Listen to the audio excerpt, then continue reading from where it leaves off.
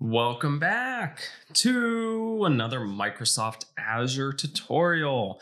All right, so today we are going to continue discussing Azure functions, but we are now going to shift gears and we're no longer going to be talking about the HTTP trigger functions. Instead, we're going to segue into timer based functions. So, uh, functions that are based on a trigger that is related to time. So in this particular video, what we're going to be doing is basically giving an overview about what we want to achieve, about being able to do some things like collecting data, uh, defining our project inside of Visual Studio Code more than likely, and also highlighting some other services that we're going to be using inside of Microsoft Azure. We might get into some coding. I I don't know, it depends how long everything takes, but I would expect this series to range anywhere from three to four videos long. The only reason why is we're going to be showing you a lot of different stuff. So be ready. I do like this though. I think it's going to give uh, some just different uh, perspectives, but then at the same time, just giving you examples to play with. And then ideally, if you want to do your own little project, you can kind of build off of some of the stuff I've been writing. Okay, so what is the goal of this video? The whole purpose is that I have a bunch of RSS feeds from Microsoft, uh, basically Microsoft in general, but they basically have a blog and they make articles in that blog available through an RSS feed. Now, these are all the different blogs and boards and everything like that. And there's a few, there's like 60. So there's 60 different boards and they're constantly adding to it. And each one of these boards have information and articles related to a particular service inside of Microsoft Azure. So you can see right here, um, this is the Azure Data Factory. And if you go to this link, bear with me as it opens up. Uh, yeah, you can skip the verification. Uh, it will redirect you to this particular services blog. And so what we can do is if we want, we can actually go to these blogs and download uh, different articles based on what they're posting. So this is probably not the best example of it. Um, normally it would look more like this, but you can see there's different articles that are on this one. And the idea behind it is we're going to create a function that will navigate to this RSS feed version of it, parse each one of these particular articles, store them in a JSON structure, we're then going to write that JSON data to an Azure Blob storage account. So something like on here when you go onto your Microsoft Azure Storage Explorer. So the goal is to write that content to a JSON uh, document inside of our Azure Blob storage. And then we're going to want to be able to read that content directly in from Excel. So what we're going to do is we're going to create a connection to that blob storage account using Power Query and then we're going to load that and then we're going to put it on a very fast timer so we're going to do it like where it pulls every 20 seconds now normally you don't need to pull even remotely that often for something like uh, this particular rss feed but the idea is i want to show you what it would look like when it comes to having that data dynamically come in so Lots of good information in here. We're going to be talking about multiple services, talking about Key Vault. We're going to be talking about Azure Blob storage connections. We're going to be talking about oh, default identity credentials. We're going to be talking about Power Queries. So there's a lot of good content in this series. So that's basically what we have planned for it. Okay, so first things first, let's open up Visual Studio Code. Once we've opened up Visual Studio Code, we're going to create a new Azure Function app project, and then we're going to start writing some of the code ideally. So first things first, let's open up Microsoft Visual Studio Code. So we're just going to do a new window right here. And I did want to remind most of you who are new to the channel, if you are new to the channel, um, please consider subscribing to Sigma Coding because I am constantly adding new content and stuff like that. So if you want to stay up to date with that new content, make sure you subscribe to the channel. And then if you want, you can turn on that little notification bell. And from there, you can actually uh, get little notifications every time I post, which can be quite frequently. okay, so the first thing is I'm going to create a new folder. Oh, we'll just follow our little trend from the previous series on functions and we'll just call this one video timer trigger true. Okay, and then we'll select that folder. Uh, once we're here, uh, as I mentioned in the previ previous Azure function series, there are quite a few extensions that you might want to install. So one is obviously Azure Functions. Um, if you already have that installed, that's important um, because it's just going to make integrating with your Azure services through VS Code a lot easier. You do want to make sure that you're signed into your account. So if you're like me, you might have multiple accounts, you might have a work account, you might have personal accounts, you might have accounts that you're joined with when you're working with clients or something like that. So there could be potentially many different accounts. You want to make sure you're connected to the account that you want to put the service on. It's very important you're on the right account because you're going to be billed for the service you're using. So obviously you don't want somebody to be charged for a service they didn't ask for. So be very careful to make sure you're on the account you're supposed to be. Okay, and then at the top, or maybe somewhere down here or wherever, depending if you've organized it differently, you see, should see a section that is related to functions. Below that, you're going to see your subscription, pay as you go in my case, Yours could be named very differently depending on what you named your subscription. And if you expand the subscription, you'll see all the ones that you have currently hosted on Microsoft Azure. So these are ones that are all currently hosted on Microsoft Azure. However, we're going to create a new local project with the expectation that we will then move it over to Microsoft Azure once we validated that it's working locally. So if you want to create a new local project, if you hover over the folder, you have create new project.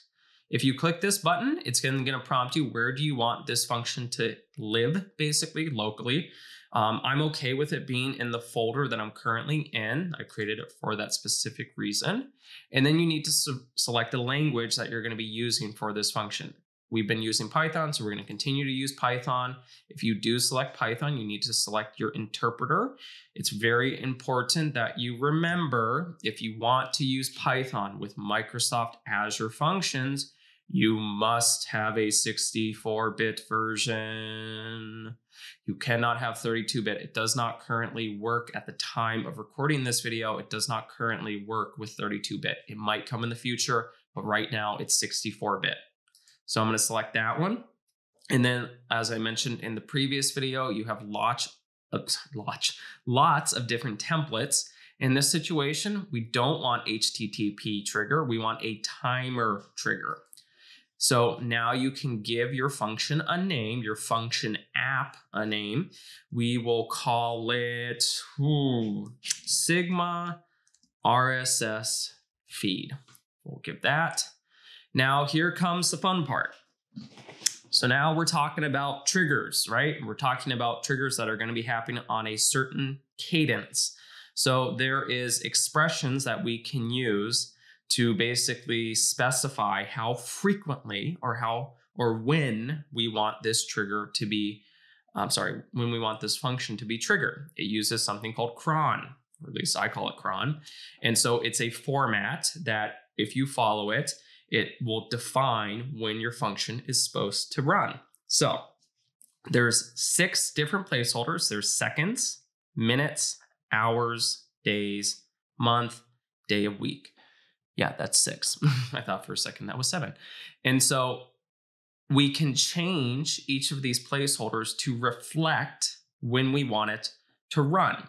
What this is saying is that you want it to run every five minutes.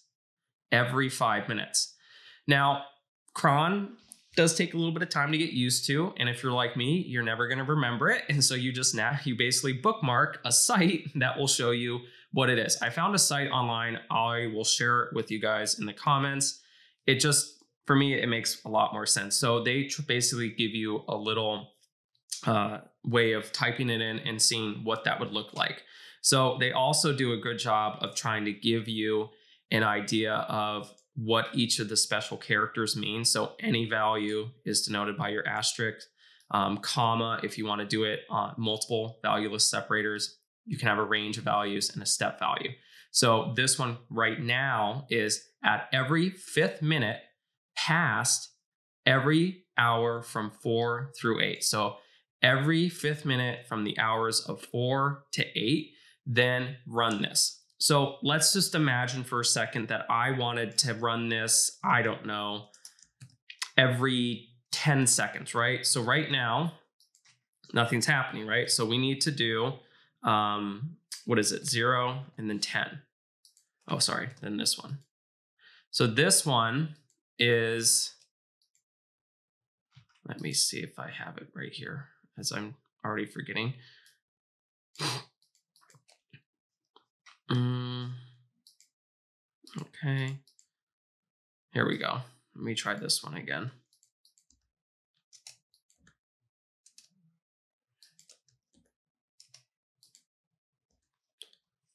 As you can see, I'm already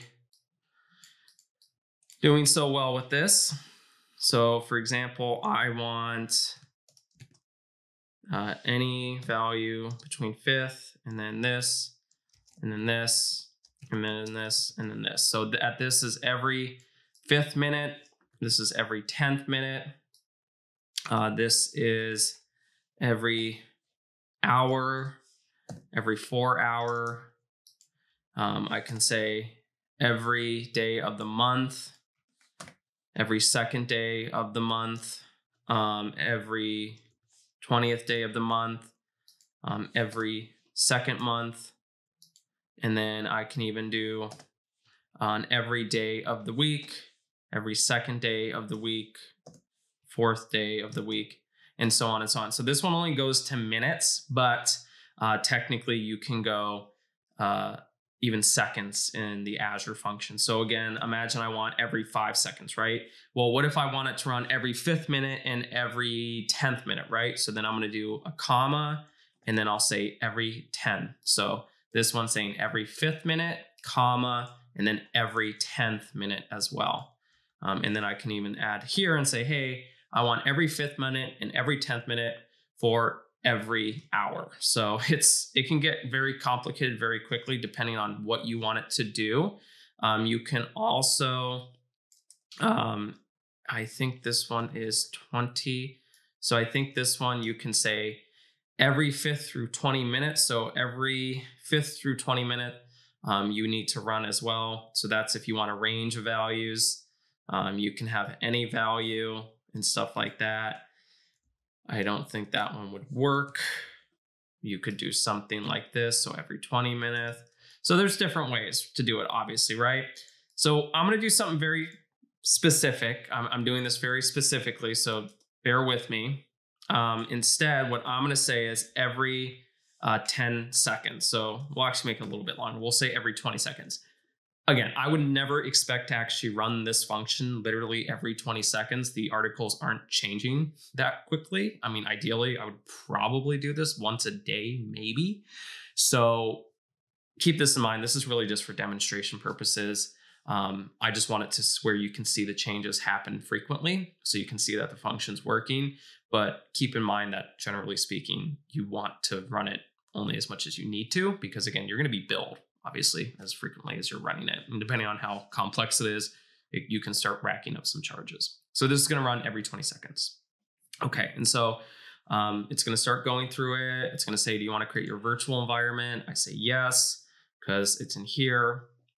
And you can see that it's starting to generate a lot of output inside of our folder now. And uh, kind of like in the last video, we'll just briefly go over some of the functions, files, um, not a ton, only because we've already covered a lot of them. But again, you have your host file, you have your local settings, and then in the same time, you have your proxy. So these, again, you don't really touch these for the most part. Requirements file, we're actually going to be adding an awful lot to this very shortly because we're going to be utilizing so many Azure services. We want to make sure that we have those packages installed in our virtual environment func ignore. This is basically like the git ignore, but for functions. And then you have VS Code. So you have your extension recommendations, um, how it's going to launch the local host when you want to debug it, settings. So, you know, language runtime, project runtime, um, virtual environment, so on and so on. So this is where, again, you can specify different information. And then additionally, you can see here, you can also specify your python.python path. So this is saying it's going to be in the virtual environment. Um, task. So every time you start up your function, there's a bunch of tasks that have to take place. Well, I would say a bunch, but uh, one of them is if you're using Python, you need to install the dependencies in your requirement file. So that's something that we have to do. And then additionally, you need to make sure that you have your virtual environment. And then uh, this is just all the different scripts, libraries. So if you're going to be using a library inside of the function, you need to make sure it's installed in your virtual environment. So right now you can see there's a few, but not a ton. And then additionally, uh, something that's very, very important is again, it needs to be making sure that you're pointing to a 64 bit version. So if you're not pointing to a 64 bit version, what's going to happen is it's going to boot up. It's going to start running, and then literally the second it starts to run, it's going to say, wait a minute, this function runtime isn't configured right. It's basically telling you that you're using the 32 bit version. And so you have to make sure you're pointing to a 64 bit version of your Azure functions, just like here. Um, and then additionally, just be careful when you move your folder. So I've done this before where I've moved a project from one folder to the next. You just have to make sure that your virtual environment is configured correctly so that way it's pointing to the right um, the right location. And so a lot of times that will break functions as well. You start moving stuff and all of a sudden you didn't think nothing bad was going to happen. All of a sudden your functions don't work. So just be aware of that. So that's really kind of the big file structure. I think the last thing we'll do is we'll do the requirements. And then from here, uh, we will jump into our next video. So, so we will um, just install our stuff, call it quits, and then we'll go on to the next video.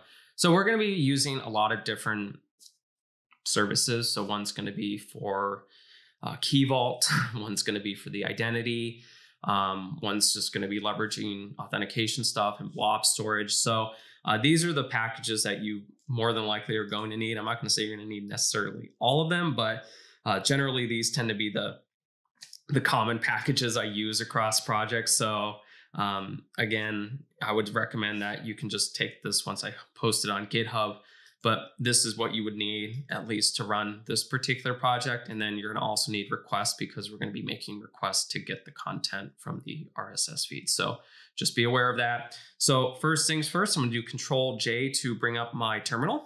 I want to make sure that I'm in my virtual environment. Very important that you note that. And then I'm going to do pip install hyphen R. So this is short for requirements. And then you're going to do requirements.txt. It's going to go through everything. Uh, more than likely, you're going to be prompted to update your pip uh, as well. If it doesn't, great. If it does, you can update it or you don't have to update it. I haven't had any issues if I didn't update it, but I'm a little bit picky and I just like making sure things are up to date.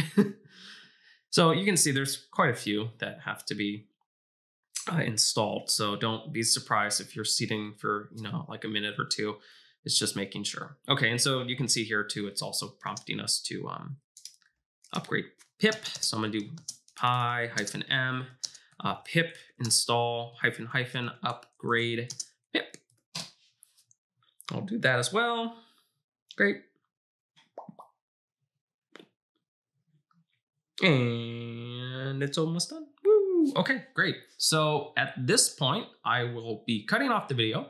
So if you have any questions about just the overall setup of the project, or if you just have general questions about Azure functions and the timer based ones, uh, feel free to put those down in the comments below.